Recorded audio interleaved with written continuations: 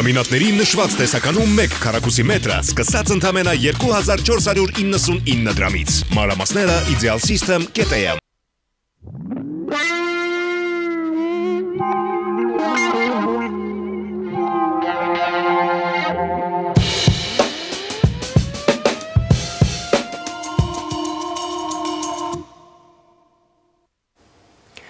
Ողջույն հարգարժան տիկնայք եւ պարոնայք, առաջին լրատվականի ուղիղ եթերում Մեհրաբյան on-line-ն է, ես Ռուբեն Մեհրաբյանն եմ։ Ինչպես արդեն հաղորդել էինք, ժողովրդավարական ուժերի հարթակը երեք քաղաքական կուսակցություններ եւ մի շարք հասարակական կազմակերպություններ համատեղ ավարտեցին իրենց ստորագրահավաքի արշավը մի օրինագծի տակ որը պետք է քննարկվի մեր ազգային ժողովում եւ մեր համոզմամբ վերածվի օրենքի ըստ որի Հայաստանը որթեգրում է Եվրամիությանը անդամակցելու քաղաքական կուրսը։ Մանավանդ այս ընթացքում էլ հայտնի դարձավ, որ մեր հասարակության կեսից ավելին կիսում է հենց այդ գաղափարը եւ ըստ էության ձևավորվել է սոցիալական պատվեր հենց այդպիսի քաղաքականության իսկ դա նշանակում է որ Հայաստանում քաղաքական դասը պարտավոր է ուղակի ստանձնել այդ դերը սпасարկելու այդ սոցիալական պատվերը Արչևում իհարկե դեռ նոր փուլեր են մասնավորապես այն որ դեռ կենտրոնական ընտրական հանձնաժողովը պետք է իր և,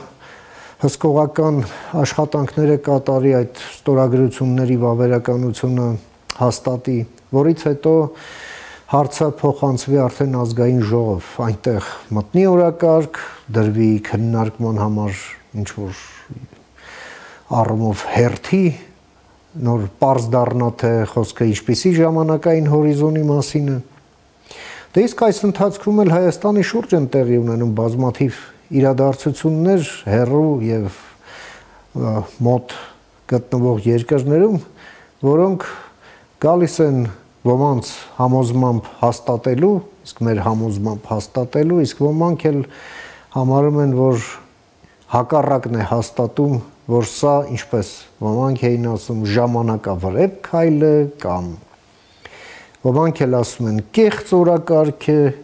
եւ այլն եւ այդպես շարունակ, այսինքն հասարակության մեջ այդ դիսկուսիաները դեռ շարունակվելու են։ Ձևավորվել է մի իրավիճակ, որը պահանջում է որոշակի գնահատականներ եւ հենց դրա համար ես մի հարգարժան հյուր եմ հրավիրել մեր տաղավարում, սիրով ուզում եմ ներկայացնել Տիկին Անահիտ Ադամյան, Հանրապետության Հանրապետություն կուսակցության քաղաքական խորհրդի անդամ, բարև եք եկել Տիկին Ադամյան, շնորհակալ եմ։ Շնորհակալ եմ հրավերս ընդունելու համար։ Հանրապետություն կուսակցությունը առանցքային դեր կատարեց այս ստորագրահավաքի արշավի թե կազմակերպման, թե իրականացման, թե քարոզ արշավի ընթացքում, նաև այս գործընթացի հաջորդ փուլերում եւս ակտիվ մասնակցություն է ունենալու նախ ձեր գնահատականը արձանագրումով որ մենք ունենք 60000 ստորագրություն սա նոր իրավիճակ է ձևավորում ձեր գնահատականը ինչպիսին է մենք ունենք 60000 պլյուս ստորագրություն Ես կարծում եմ, որ փաստը 1 ամսում հավաքված անհրաժեշտ ստորագրությունների թվի եւ ինչպես դուք նշեցիք, հանրության 58%-ի դեպի Եվրոպա համակրանքների արդեն այնքան խոսուն են, որ վկայում են հանրությունը վաղուց առաջ է անցել գործող իշխանությունից։ Եվ վաղուց հանրությունը պատրաստ է լուծումների, որոնց իշխանությունը չգիտես ինչու հապաղում է։ Դա կարծում եմ շատերի համար է ակնհայտ։ Ինչպես նաև ակնհայտ է փաստը, որ այս ստորագրահավաքը հենց իրական օրակարգն էր Հայաստանի Հանրապետությունում, որը բարեհաջող դուրս մղեց բոլոր մնացած կեղծ օրակարգերը եւ դարձավ թիվ 1 քաղաքական խնդիր։ Դարձավ թիվ 1 քաղաքական խնդիր ոչ այնքան իր թվով, քանակով, հավաքված ժամկետով, այլ իր կարևորությամբ։ Ինչ հարց ենք մենք այս ստորագրահավաքով լուծում։ Մենք ուզում ենք, որ Հայաստանի Հանրապետության իշխանությունը օրենքի մակարդակով հայտարարի, որ սկսում է Եվրամիության անդամակցության գործընթաց։ Մենք դա ուզում էինք անել դեռ սեպտեմբերին որովհետև սեպտեմբերին անելու պարագայում ուժերի հավասարակշռությունը տարածաշրջանում քաղաքական դիրքորոշումների առումով կարող էր փոխվել։ Մենք կարող էինք ազդել թե Մոլդովայի ընտրությունների վրա եւ հանրահավաքի վրա, թե Վրաստանի ընտրությունների վրա։ Մենք կարող էինք նրանց բարերական կողմնորոշիչ դառնալ։ Իսկ հիմա ստեղծված իրավիճակում եւ Վրաստանում արդեն տեղի ունեցան ընտրությունները, բայց հայտնի չի ով է հաղթելի վերջո եւ հայտնի չի երբ խորհրդարանը աշխատանքը կսկսի ու կսկսի թե չի սկսի արդյոք կգնան արտահերտ ընտրությունների թե չեն գնա ճգնաժամը բաց է այդ քաղաքական ճգնաժամը որի լուծումները համենայն դեպս Վրաստանի սահմանադրության մեջ կարծես թե չկան կա քաղաքական պայքարի քաղաքական համառության քաղաքական ինքնավստահության թերևս դրսևորման անհրաժեշտություն, որովհետև Վրաստանի, ինչ ասեմ, անցած ընտրությունների անցած պատմությունը ցույց է տալիս, որ այնուամենայնիվ քաղաքական ուժերի մեջ կարող են ճեղքեր առաջանալ եւ խորհրդարանը որոշ ուժեր կարող են մտնել խորհրդարան ու խորհրդարանը կարող է սկսել աշխատանքը բեկվի այս կամ այն կողմ այո միանշանակ այսօր այդ 4 ընդդիմադիր քաղաքական ուժերը միասնական են բայց կարող ինչ որ պահի պայքարի ինչ որ պահի որոշեմ որ շատ ավելի ճիշտ կլինի գնալ եւ քաղաքական պայքարը շարունակել խորհրդարանում իսկ դա լինելու է իշխանության ձեռնտու քայլ։ Շատ լավ, այս ամենը Բայց եթե Վրաստանից նայեցեք, եթե Վրաստանից վերադառնանք Հայաստան, այնուամենայնիվ երևի թե դուք դա հենց հենց դա եք ուզում։ Եթե վերադառնանք Հայաստան, տեսեք մեր քաղաքական օրակարգը այնպես պիտի մենք կառավարենք, ծրագրենք, ձևավորենք, որ ոչ թե ստիպված լինենք տեսնել ինչ է կատարվում Մոլդովայում, ինչ է կատարվում Վրաստանում, ինչ է կատարվելու Ամերիկայի Միացյալ Նահանգներում, այլ մենք պաշտպանված լինենք բոլոր տարբերակներով, ինչ էլ կատարվի Վրաստանում, ինչ էլ կատարվի Ամերիկայում, աշխարհում ինչ էլ կատարվի։ Այ հենց այդ հարթակը, որ ձևավորվել էր եւ որը դեռ գործում է ստորագրահավաքի համար, նպատակ ուներ Հայաստանը դարձնել հնարավորինս անխոցելի։ Նպատակ ուներ առաջին հերթին անվտանգության խնդիր լուծելու։ Առաջին հերթին։ Այստեղ մենք մի քանի անվտանգության խնդիր ենք լուծում։ Եվ ռազմական անվտանգության, եւ տնտեսական անվտանգության, որ Հայաստանի Հանրապետության համար ģեր կարևոր խնդիր է, որ մշտապես եղել է Հայաստանի Հանրապետության ակիլեսյան գարշապարը։ Եվ մեզ հետ գծող հիմնական գործոնը։ Այո, այո։ Եվ քաղաքական անվտանգության ժողովրդավարության խորացման։ mm -hmm Այդ տեսակ բյուջեի քննարկումներում գուցե դա շատերի կողմից աննկատ անցավ, բայց բյուջեի քննարկումներում հանկարծ պարզվեց, որ առողջապահության նախարարությունը 2025 չի անցնելու ապահովագրական համակարգին։ Տարբեր պատճառներով։ Ինչը մինչ այդ Ինչը մինչ այդ խոստացվել էր եւ այլ եւ այլ եւ այլն բայց որևէ մեկը հասկացավ, որ եթե Հայաստանի Հանրապետությունում առողջապահական ապահովագրական համակարգը չի գործում, վիզաների ազատականացման խնդիրն է հետաձգվում։ Միանշանակ, որտեղ դա այդ վիզաների ազատականացման խնդրի հետ սերտ կապված հանգամանք է, պահանջներից, պայմաններից մեկն է։ Կգնան այնտեղ եւ կասեն մենք բուժվում ենք, օրինակ։ Տարբեր, տարբեր պատրվակներ կարող են լինել։ Իհարկե խնդիր է, տարբեր պատրվակներ կարող են լինել, բայց տեսեք մենք այսօր ինչ որ բաներ ինքներս չենք անում, իսկ վաղը պարտամուր հարկը ներկայացնելու ենք Եվրոպային։ Ու այդ այդ ատաղձի վրա ձևավորվել է այսօրերին նաև ձեր ականջին թերևս շատերիս ականջին հաճախ ընչած հարցը իսկ Եվրոպայում մեզ սպասում են իսկ Եվրոպան մեզ համար ինչ է անում իսկ Եվրոպան մեզ կպաշտպանի իսկ Եվրոպան անվտանգության կառույց է արդյոք այո ճանենալով սեփական զորքեր Գիտեք, այդ հարցերը այսօրերին այնքան շատ են, ինչ ասեմ, բարձրաձայնվել, որ ինչ որ պահի ինձ համար սկսեցին դառնալ ոչ այնքան պատասխան ակնկալող հարցեր, Որքան ես հասկացա, որ այդ հարցերը հնչելու են ցանկացած պարագայում, ցանկացած պարագայում, որովհետև հակառակ կողմը, ընդդիմադիր կողմը ընդհանրապես Հայաստանի Հանրապետության զարգացման, Հայաստանի Հանրապետության ապագայի մասին որևէ ծրագիր, պատկերացում, տեսլական ցանկություն անգամ չունի, բացի մի կետից։ Իշխանապողություն Եվ ամեն ինչ նրանք տեսնում են այդ իշխանապողության մեջ։ Իսկ թե իշխանապողության հաջորդ քայլը ինչ է լինելու, որևէ մեկը 20-20-ից հետո փողոցում խորհրդարանում ձևավորված, մարած, կորած, էլի մարած, էլի հայտնված, էլի կորած բոլոր շարժումներից որևէ մեկը այդ պատասխանը չի տվել։ Փոխարենը այդ պատասխանը տալիս ենք մենք։ Փոխարենը այդ պատասխանը տալիս ենք մենք։ Մենք ասում ենք ինչ է լինելու, ինչպես է լինելու եւ գլխավորը ինչու է լինելու։ Որովհետեւ Հայաստանի Հանրապետությունը ստեղծված իրավիճակում չունի այլընտրանք։ Մենք ունենք զարգացման մեկ հնարավորություն, զարգացման մեկ ճանապարհ։ Դա է ամբողջ խնդիրը։ Եվ կարծում եմ Հայաստանի Հանրապետության բնակչության այդ 58%-ը հենց այնպես չի ձևավորվել։ Դա չի ձևավորվել մեր ջանքերով, ես դա ցավոք եմ ասում։ Ոչ այնքան մեր ջանքերով, որքան ստեղծված իրավիճակի համառեք գնահատականից։ Սեփական գնահատականը, այո, դրանք եղել են անհատական որոշումներ գալ եւ ստորագրել։ կամ դրական պատասխանել այդ հարցմանը։ Ավելին, ավելին, եթե ֆիքսելով այդպիսի Եթե մենք կարողանայինք ոչ թե 60, ասենք, կետ ունենալ, որտեղ հնարավոր է ստորագրել, այլ 120 կրկնակին Ես համոզված եմ, որ Հայաստանի Հանրապետության տարածքում շատ շատերը մեծագույն ցանկություն են ունեցել ստորագրելու, պարզապես դրա ֆիզիկական հնարավորությունը չեն ունեցել, ինչի համար մեծ շնորհակալություն հայտնելով ստորագրողներին, ուզում եմ հայցել չստորագրածների ներողամտությունը, որովհետև մենք ֆիզիկական այդքան հնարավորություն չունեինք։ Եվ այևս փաստ է։ Տիգին Ադամյան, հիմա մենք ասում ենք նոր իրավիճակ։ Ներսում այս օրինագից ըստ էության տեսեք, փաստորեն մենք ինչ օրակարգեր ունենք թե ներքաղաքական, թե արտաքին քաղաքական, այս որոշումով եւ այսպիսի պատկերի ձևավորմամբ ըստ էության սկսում են ածանցվել հենց այս գերխնդրից ռեֆորմների օրակարգ մենք ինչն ենք ռեֆորմանում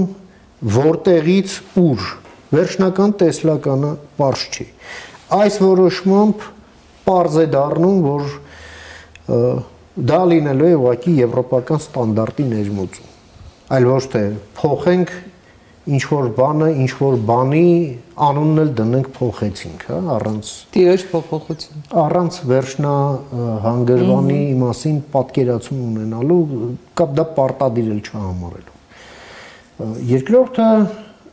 այնուամենայնիվ կյանքը եւ փորձը ցույց է տալիս, որ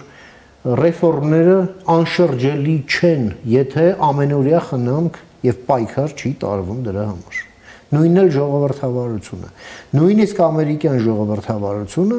այսօր ամերիկացիներն են ասում վտանգի տակ է։ Այս ամենը նաև իրենից ներկայացնում է, այսպես ասենք, մեր պետական օրգանիզմի կամ հասարակական պետական օրգանիզմի համար իմունիտետի մի լրացուցիչ եւ բավականին այսպես նշանակալի մի շերտ, որը մեզ թույլ չի տա, որ տեսնենք աշխարհի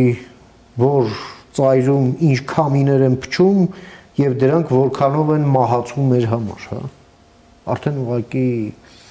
այդ ցցուն ձևով ցույց է տալիս մեր այս քրոնիկական խոցելիությունը, այս արտակին ինչ-ինչ զարգացումների վերաբերյալ։ Սա մեզ ամրության pašար է տալիս։ Դե արտակին քաղաքական այսպես ասենք նպատակների անվտանգության քաղաքականության նպատակների տեսակետից էլ եւս ակնհայտ է։ Ասելիքս ինչն է։ Այս ամենը թողած, չգիտեմ, ինչ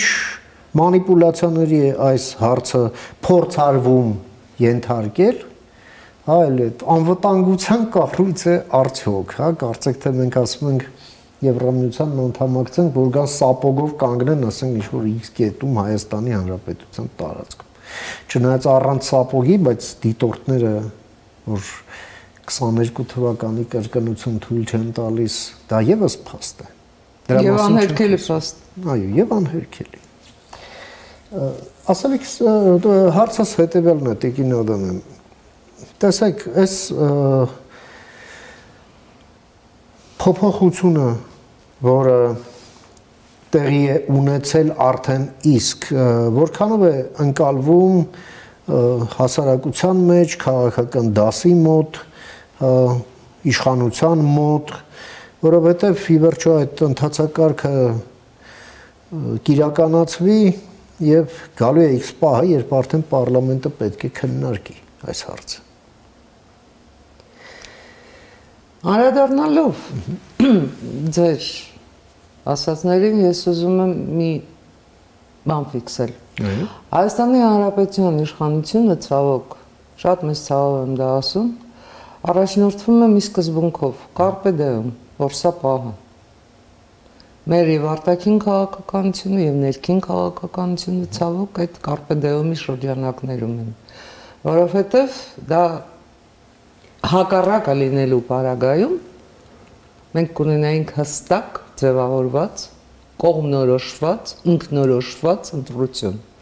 Մենք այդ ընտրությունը չենք անում։ Մենք քաղաքական դուալիզմի երկու ճոպանների վրա փորձում ենք լարախաղացություն անել։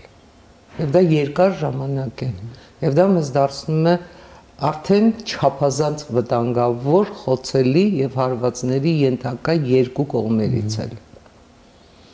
Մենք այս օրերին քննարկում ենք բյուջե, բայց գտեք խնդրում եմ եւ ցույց տվեք ինձ որևէ զարգացման ծրագիր այդ բյուջեում։ Գտեք եւ ցույց տվեք հանրությանը, թե արդյունաբերական ինչ ձեռնարկություններ է նախատեսված Հայաստանի Հանրապետությունում աշխատեցնել։ Ինչ արտադրանք ենք մենք նախատեսում 2025-ին կամ 2026-ին, 2025-ին սկսելով արտահանել Հայաստանը։ Որակական ինչ փոփոխություն է բերում այդ։ Ընդհանրապես։ Գիտեք, ես շատ լավ հիշում եմ 1999 թվականին հոկտեմբերի 7-ին Վազգեն Սարգսյանի ասուլիսը Ամերիկայի Միացյալ Նահանգներից վերադառնալուց հետո։ Եվ այդ ասուլիսի բավականին ծավալուն ասուլիս հարց ու պատասխանով ամեն ինչով այդ ասուլիսի մեխը նա էր, որ մենք արդեն այնքան ենք հասունացել, որ Հայաստանի Հանրապետությունը կարող է օգնության ծրագրերից անցնել զարգացման ծրագրերի։ Ցավոք, ցավոք։ Տեսեք, քանի տարի անցել, 25 տարի։ 25 տարվա մեջ մենք զարգացման ծրագրերի այդպես էլ չհասանք։ Մենք էլի հույսներս դնում ենք, չգիտեմ, օգնությունների, հիմա արդեն վարկերի եւ այլ եւ այլնի վրա, բայց մենք չեկանք այն ինքնագիտակցությանը, Վազգեն եւ Արամ Սարգսյանների վարչապետությունից հետո, որ Հայաստանի Հանրապետությանը պետք է տան տեսություն։ Հայաստանի Հանրապետությունը պետք է լինի արդյունաբերական երկիր, աշխատատեղ պիտի ունենա։ Ժողովրդագրական հարցերը լուծվում են աշխատատեղերով, որովհետեւ մարդիկ չարտագաղթեն, որովհետեւ մնան իրենց երկրում աշխատանք ունենան, շահագրգիռ լինեն, ընտանիք ունենալ, տուն կառուցել։ Ես հիմա ասում եմ այբենական ճշմարտություններ ու մի քիչ էլ ճիշտ ասած ինքս ինձնից ու մեր ունկնդիրներից ամաչում եմ, որ այդ այբենական ճշմարտությունները ստիպված եմ անդադ ասել։ Բայց դա իմ մեղքը չի։ Դա պասրապես Հայաստանի Հանրապետության իրարահաջորդ իշխանությունների քաղաքականությունն է եղել։ Ինչ ենք մենք այսօր անում ԵԱՏՄ-ում Արդեն Հայաստանի Հանրապետության իշխանավորներն են ֆիքսում թվերը, թե ԵԱՏՄ-ում մենք որքան գումարներ ենք կորցնում։ 93 միլիոն այդ թիվը բարձրաձայնեց էկոնոմիկայի նախարար պարոն Գևորգ Պապոյան։ Շնորհակալություն, ես հենց դա եմ ասում։ Պարոն Գևորգ Պապոյանի, ինչ ասեմ, պատկերացումները տնտեսության մասին ավելին չեն, քան զբոսաշրջությունը, գինեգործությունը, Չգիտեմ էլ ինչ։ Բայց կառավարությունն է որոշում։ Չգիտեմ էլ ինչ։ Նա Պապոյանը քաղաքականություն, տնտեսական քաղաքականություն իրականացնի, բայց չի որոշի։ Ճիշտ եք ասում, նրանք որոշում են ձեր, նրանք որոշում են իմ, նրանք որոշում են միջին վիճակագրական հայերի բարեկեցության կենսամակարդակի խնդիրը։ Իհարկե։ Որքանով մենք կարող ենք անverջ զբոսաշրջությամբ երկիր զարգացնել ու բողոքել, որ տեսեք ցույցեր եղան ռուսները չեկան։ Զբոսաշրջիկների թիվը պակասեց։ Վայ, ո՞նց անենք Աբսուրդ է դա։ Թույլ տվեք նկատել, որ դա աբսուրդ է, դրա համար ենք մենք առաջարկում, որ Հայաստանի Հանրապետությունը պետք է ունենա մրցունակ արտադրանք, վերջապես այդ եվրոպական ստանդարտներով անverջ վախեցնելու փոխարեն այս օրերին մի քանի քննարկումների մասնակցելով ես հասկացա, որ մենք նոր ֆետիշ ունենք։ Չզարմանաք, որ այդ նոր ֆետիշը լոլիկն է։ Ոնց Բա մեր լոլիկի արտադրությունը ուզում եք, որ մեր արտադրողները այլևս չկարողանան լոլիկ արտահանել, այո, ուզում եմ։ Գիտեք ինչ եմ ուզում, որ այդ լոլիկի մեջ պեստիցիդներ չլինեն։ Որ այդ լոլիկով մենք մեզ չթունավորենք։ Սելիտրահուբ չտան։ Այո, որբիսի այդ լոլիկը ունենա ընտիր որակ այնպիսի որակ, որ Եվրոպայում փնտրեն հայկական լոլիկ։ Ուղղակի ընկած իրենց սուպերմարկետներում փնտրեն հայկական լոլիկ։ Ու դա իդեաֆիքս չի։ Դա ինչ որ ես այնպիսի գաղափար չի, որ երբևէ Դա ծրագիր է պահանջում եւ դրա իրականացում։ Դա պահանջում է պարզ աշխատանք։ Դա պահանջում է աշխատանքի նկատմամբ վերաբերմունքի փոփոխություն։ Եվ այստեղ իր անելիք ունի թե բիզնեսմենը, թե իշխանությունը։ Իշխանությունը պիտի լոգիստիկ խնդիրները լուծի։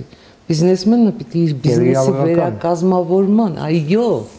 Բայց դրա համար մեզ ինչ է պետք։ Դրա համար մեզ պետք է հասկանալ, որ ԵԱՏՄ-ում մենք ընդհանրապես զարգացման որևէ հերանեկար չունենք։ ԵԱՏՄ երկրները իրենք իրար հետ չեն հաղորդակցվում գործնականում կա Ռուսաստան ու ԵԱՏՄ երկիր շփում։ Ինչի համար է այդ ԵԱՏՄ-ն այդ պարագայում ոչ նոր տեխնոլոգիաներ կան, ոչ գումարներ կան, ոչ արտադրության կազմակերպում կա, ինչ է տալիս մեզ ԵԱՏՄ-ն։ Մեր ցածր որակի արտադրանքի արտահանում այնտեղ իրենց ցածր որակի արտադրանքի հեղեղ այստեղ մտեք սուպերմարկետ։ Այո։ Ռուսական աղբ ամեն մենք դա անվանում ենք տնտեսության զարգացում։ Այո։ Եթե դա է մեր տնտեսության զարգացումը, կներեք Եվրոպան շատ հեռու է մեզնից եւ մենք շատ Միշտ հեռու կմնա։ Այո, եւ մենք շատ հեռու ենք Եվրոպայից, որովհետեւ Եվրոպայում տնտեսության բացարձակապես այլ ընկալում կա։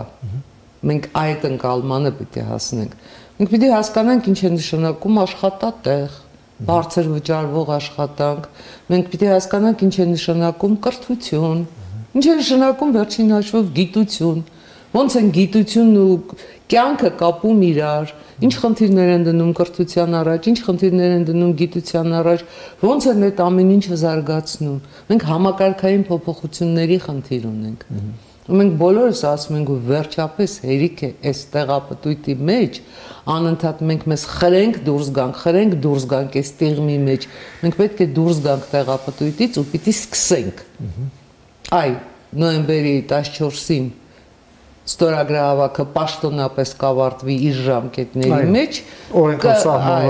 սահմանված ժամկետը կավարտվի որից հետո ԿՀ-ն ձեր ինչպես դուք ասացիք վավերականությունը ստուգելուց հետո ես կարծում եմ մենք այդտեղ բացարձակ խնդիր չենք ունենա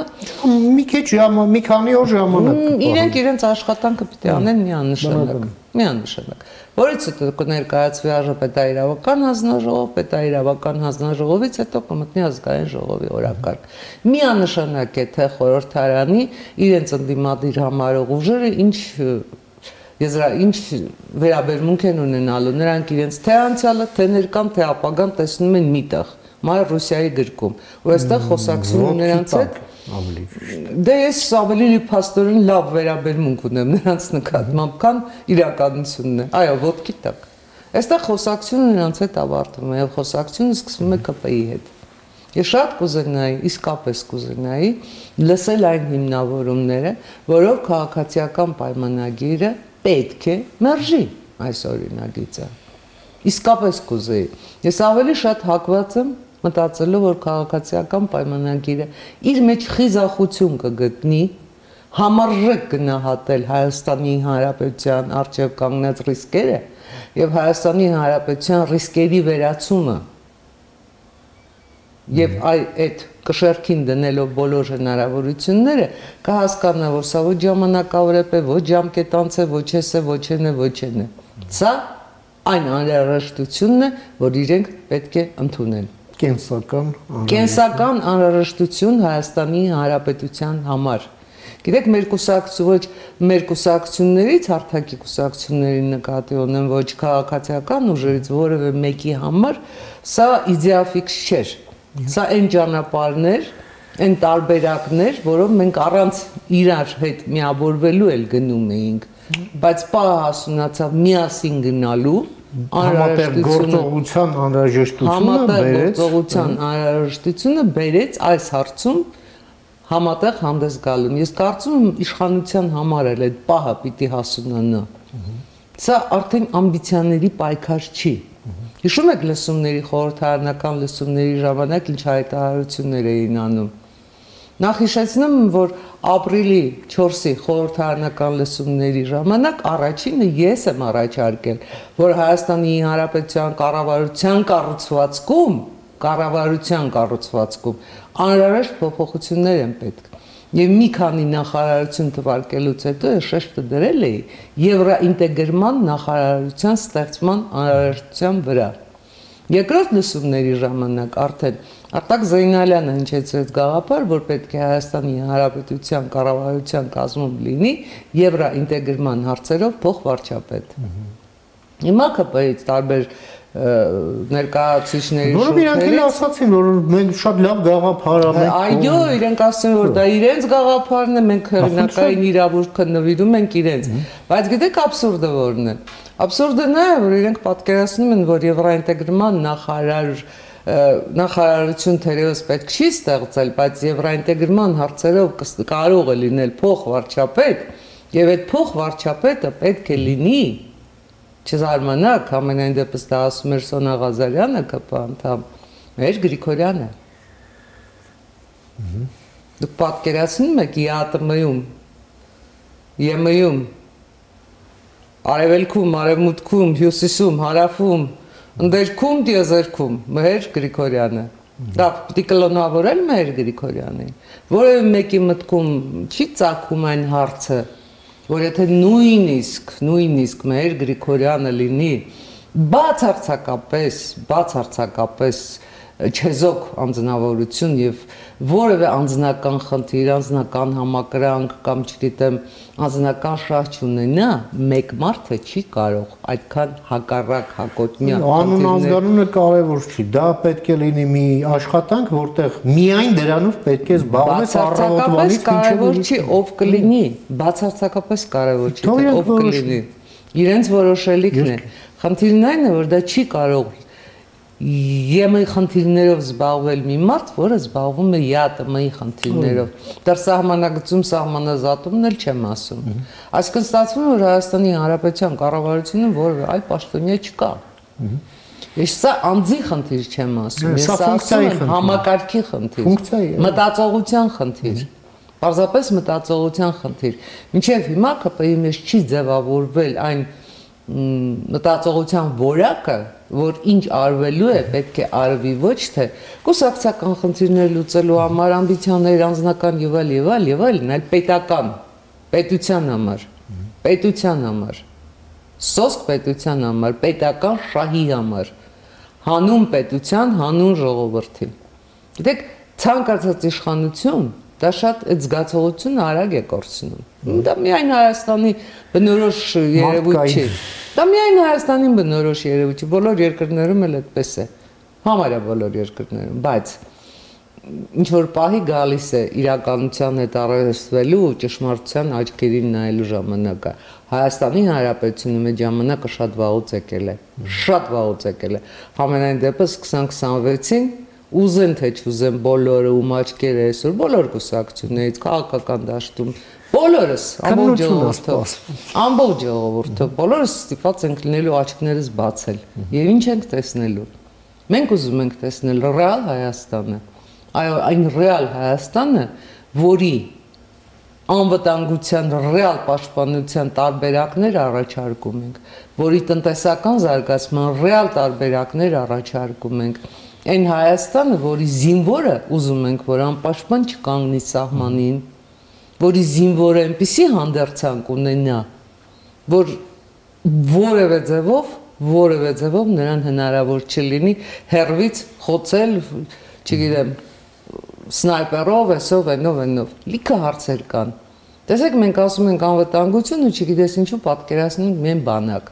Բացարձակապես անվտանգությունը բանակը չի։ Բանակը առաջինն է, որ այդ հարցով պետք է զբաղվի, բայց միայն բանակը չի։ Հա, բայց բանակն էլ են ոնց որ վերջին փամփուշտն է, երբ որ մնացած այլ բաները չեն աշխատում։ Բոլոր մյուս արկելափակոցները երբ չեն գործում, գործում է բանակը։ Բայց դրանից առաջ պետք է լինի արտաքին քաղաքականություն։ Դրանից առաջ պետք է լինի դիվանագիտություն, դրանից առաջ պետք է լինի տնտեսական քաղաքականություն։ Դե Հայաստանի Հանրապետությունում երևի թե շատ լավ յուրացրել են չինական փիլիսոփայությունը։ Չինական ժողովրդական առածը ասում է նստիր գետի ափին ու սպասիր։ Ջրերը թշնամու դիակը կբերեն։ Այ մենք այդպես ուզում ենք նստենք ինչ որ մի գետի ափին ու սպասենք, սպասենք, սպասենք, սպասենք։ Չի բերում։ Մենք Չինաստանի չենք։ Եթե եթե սպասեք, ոչինչ էլ տեղի չի ունենա։ Այո, Մենք Չինաստանը չենք։ Աստված սпасող ինչի տալիս, Աստված անողին։ Ստացվում է, որ չինական իմաստությունը երևի թե գործում է միայն Չինաստանում ու չինացիների համար։ Երևի թե այս параգրաֆում որ որովհետև այդ հավերժական սպասման քաղաքականությունը մեզ ոչինչ չի տալիս։ Ես ոչինչ չի տալիս։ Մենք այսօր հակառակը ոչ թե պիտի սպասենք, այլ պիտի գործենք։ Եվ անդրադառնալով Ամերիկայի Միացյալ Նահանգներում ընտրություններին, տեսեք, մեզ համար Գերկարևոր խնդիր այսօր դարձել է ով կընտրվի։ Տրամպը բոլորի համար։ Թե Հարիսը։ Եվրամիության համար էլ։ Եվրամիության համար էլ, Չինաստանի համար էլ, Հնդկաստանի համար էլ, Վրաստանի համար էլ, Ռուսաստանի համար էլ, բայց եթե մյուսների համար ասենք այդ խնդիրը ճակատագրական չի այդքան, ուղղակի կարևոր խնդիր է, որը կարող է ազդել իրենց քաղաքականության վրա, իրենց տնտեսության վրա եւ այլ եւ այլ։ Մեզ համար դա դառնում է ճակատագրական խնդիր։ Եվ ինչու ենք մենք այսօր այդքան անպաշտպան կանգնած այդ ճակատագրական խնդրի առաջ։ Նույնիսկ այսօր մենք հնարավորություններ ունենք մեր պաշտպանական վահանները, ձեր ասած վահանները, այդ արկելափակոցները դնելու։ Նույնիսկ այսօր, նույնիսկ Տրամպի ընտրվելու պարագայում որովհետև Ամերիկայի Միացյալ Նահանգների սահմանադրությամբ նորընտիր նախագահը դեռ հունվարի 22-ին է անցնելու երթմնակալության հնարավորությունից հետո անցնելու պաշտոնակալության։ Այսինքն մենք նոյեմբերից հունվար էլ ժամանակ ունենք Ամերիկայի Միացյալ Նահանգների հետ այն ռազմավարական համագործակցության, ռազմաքաղաքական համագործակցության համաձայնագիրը կնքելու, որի առաջարկ անում էր Բայդենը։ Քանի երկիր կարող եք հիմա դուք ինձ հիշեցնել,